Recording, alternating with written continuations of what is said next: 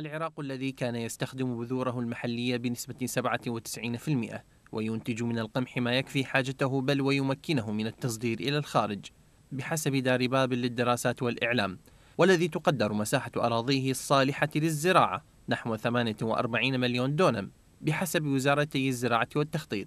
يستغل اليوم 12 مليون دونم فقط من تلك الأراضي ما جعل البلد في ذيل قائمة الدول الزراعية.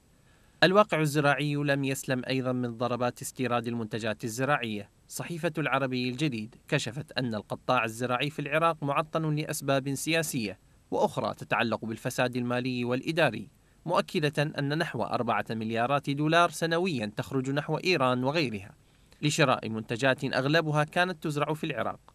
لافتة إلى أن حسابات سياسية خلال ولاية العباد عطلت جهود تنشيط القطاع الزراعي وهذا ما أكدته لجنة الزراعة في البرلمان العراقي حين اتهمت جهات مختلفة بالعمل على ضرب القطاع الزراعي في البلاد وتسهيل استيراد منتجات زراعية بالتزامن مع مواسم حصادها في العراق بهدف ضرب ذلك القطاع الحيوي.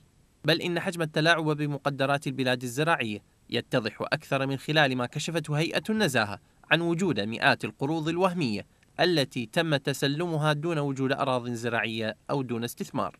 صحيفة العربي الجديد عادت لتؤكد أن الاعتماد على المنتجات الزراعية المستوردة واستفحال الأزمات دون إيجاد حلول حكومية لها أدى إلى تدهور وضع الفلاح الاقتصادي فأصبحت نسبة الفلاحين في الأرياف الثلث فقط بعد أن كانت الثلثين فهل يهتم ساسة العراق اليوم ببناء اقتصاد يحمي الإنسان ويرص البنيان؟ سؤال ربما لا تحتاج الإجابة عليه إلى مزيد عناء